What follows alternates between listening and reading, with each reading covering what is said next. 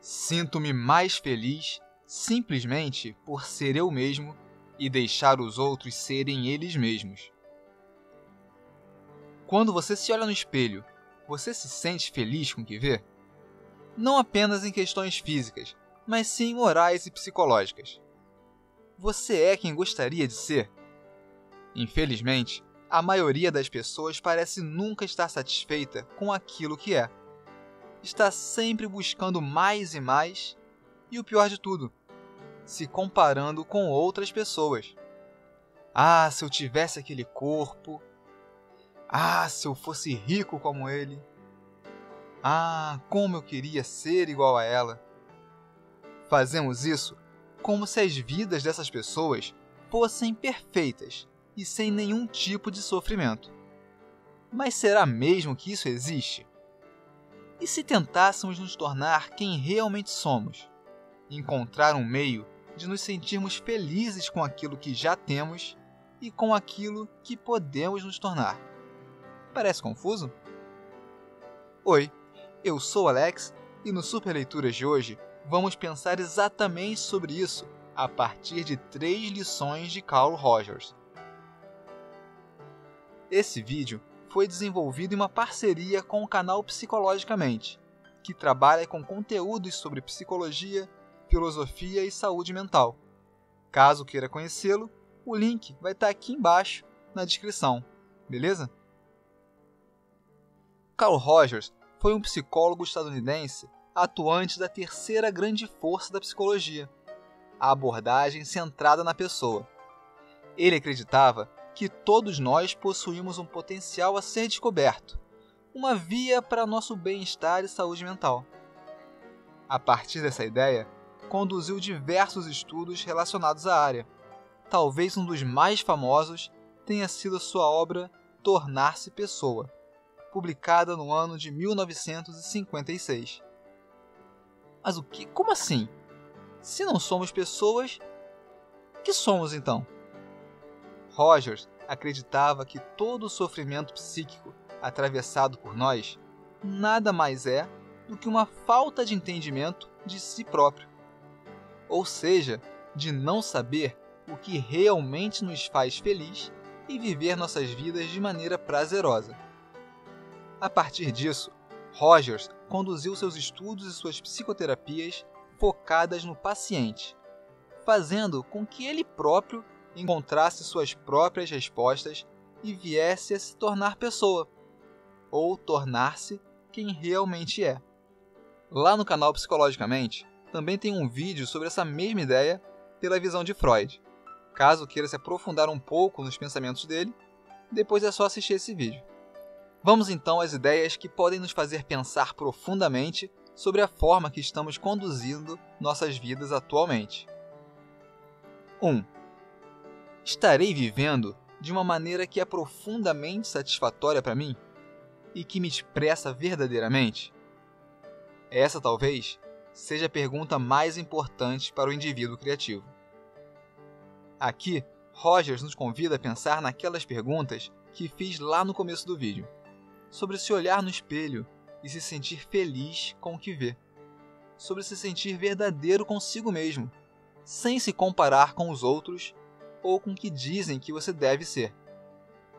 Viva sua vida baseado em seus próprios princípios, vontades e desejos sem se importar com o que os outros irão pensar, mas sim de acordo com o seu eu verdadeiro, com a sua consciência. Ok, mas por que eu devo pensar assim? Por que não posso querer ser como os outros? E é aqui que entramos na segunda lição. 2. Não podemos mudar, não podemos nos afastar do que somos enquanto não aceitarmos profundamente o que somos. Nossa, peraí que agora fiquei confuso. Você pode sim sentir uma admiração por alguém, seja por algum traço físico ou habilidade especial. Isso é o que nos molda ao longo das nossas vidas. Mas o que não podemos fazer é colocar o outro como algo a se tornar, pois, como Roger diz, você não pode mudar ou se afastar daquilo que é até aceitar quem é.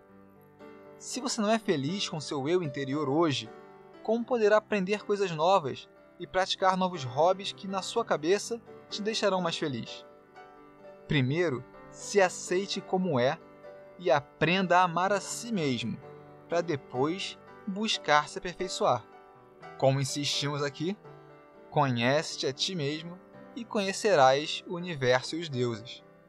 Essa famosa frase escrita lá no Templo de Delfos resume bem o que nós do Superleituras buscamos difundir, tanto com nossos vídeos quanto com os cursos da Escola dos Pensadores. 3. Ser empático é ver o mundo com os olhos do outro e não ver o nosso mundo refletido nos olhos dele. Talvez um dos maiores problemas do ser humano, e talvez o que mais lhe cause sofrimento, é a falta de empatia. Passamos a vida toda pensando apenas em nós mesmos, em como conquistar a pessoa amada, em como enriquecer, em como realizar nossos sonhos, mas parece que nunca paramos para pensar no outro.